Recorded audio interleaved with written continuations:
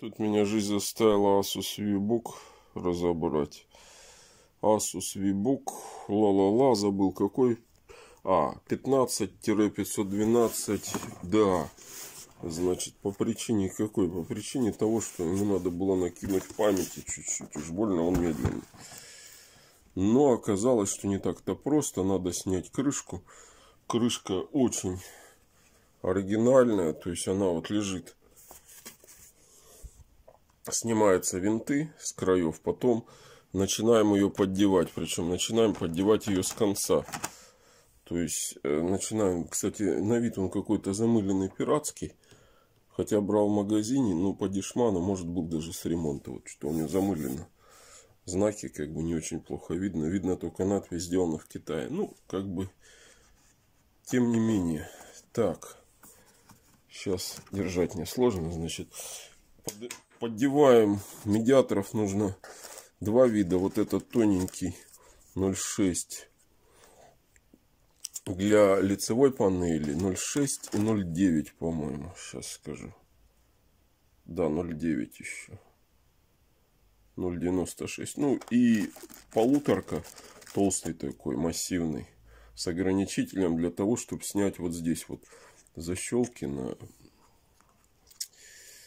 как сказать-то, на самом экране, да, то есть вот две защелки, от них очень сложно в углах отходит, тут надо крайне аккуратно поддевать. Ну, ноутбук очень такой железобетонный, значит, SSD вот у нас стоит неплохой, Kings, Kingston Asus есть Asus, да, не экономит, но памяти, как видите, нет. То есть память только распаянная на плате, то есть 4 мега. Значит, модуль связи достаточно хиленький, вот он, он Wi-Fi. Более-менее неплохой вентилятор производит, такой хорошо, ну как, система охлаждения неплохо сделана, производительная, все, но не хватает ему немножко скорости. На играх я этот ноутбук не пробовал. Я его, собственно, брал не себе. Ну, это уже другая история. Значит, когда мы начнем что-то ставить и припаивать, не забыть обязательно выключить батарею питания, иначе у нас погорит все. Потому что в обычном мы батарею снимаем старого образца, а тут она всегда идет питание на плату. Поэтому вот видите цветные провода. Если вы ее не отключите, можно нарваться на неприятности. Значит, под винт я радовался, думал, поставлю винт.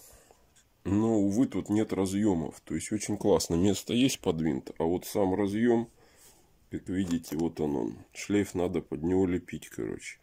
То есть, где его брать, я сейчас задумаюсь. Ну, то есть, короче, я хотел 256 мегам добавить еще 512 SSD-ху и как бы все дело в шляпе. Либо поставить старый винт со с убитого ноутбука, который вот умер. Но, увы, не получилось. То есть, с разъемом ребята решили сэкономить пару центов. Ну, как бы надо искать геморрой, поэтому быстрого апгрейда не будет. Лучше иметь знакомых в сервисе и так далее, где можно хотя бы запчасти какие-то достать, иначе это все затянется. Ну, а в остальном, в общем, ноутбук как ноутбук как бы Asus как Asus. То есть варианты их разные бывают. Я взял на вот этот вот на процеке, уж забыл какой он там. Ну, а, который улучшенный атлон, господи, что-то у меня память а, от это отрубила.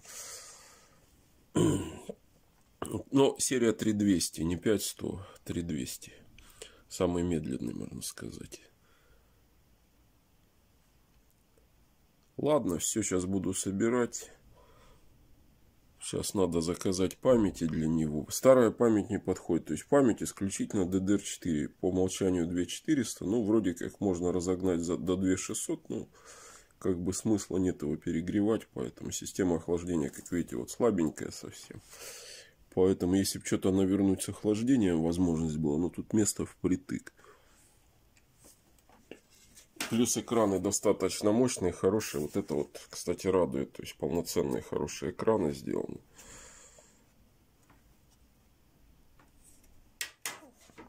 Мне еще понравилось, что он практически не шумит. Вентилятор работает тихо, то есть и очень хорошая матрица. Забыл, процессор называется Ryzen. Грузится очень быстро ноут. То есть в данном случае меньше минут. Твердотельный диск. То есть операционка у бинта ну, по умолчанию шла. Вот, собственно, поэтому я его хотел поработать. Все, собран, работает. Экранчик очень симпотный. Кстати, вот ролики могу, я хотел попробовать выйти с него в сеть. Ну, ноут не мой, поэтому просто я рекомендовал его купить, поэтому и проапгрейдить, поэтому вот реклама не выключается. Ну, сейчас на Алиэкспресс запасаться памятью.